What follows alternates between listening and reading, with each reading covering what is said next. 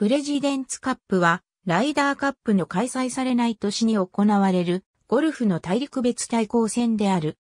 ライダーカップがアメリカ PGA ツアー代表チームとヨーロッパ出生選手のみに限定された大会であることから、ゴルファーの国際化に伴ってヨーロッパ以外の国籍を持つ世界各地の有力選手たちが米国代表と戦える団体戦として考案されたものである。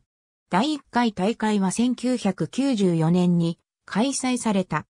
2001年のライダーカップがアメリカ同時多発テロ事件の影響を受けて2002年に順延されたことを受けて、この大会も2002年の大会を2003年に延期して行われた。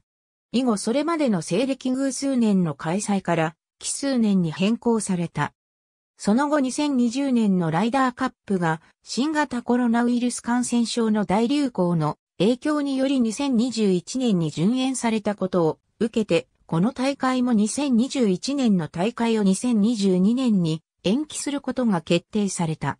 以降は西暦偶数年の開催に戻る予定。基本的なルールはライダーカップの仕組みに準じている。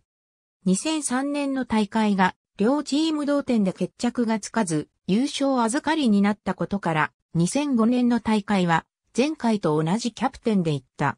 大会の名誉会長は開催国の国家元首が務めることが慣例となっている。プレジデンツカップトロフィー過去13大会の対戦成績はアメリカ11勝、国際1勝、引き分け1となっている。ありがとうございます。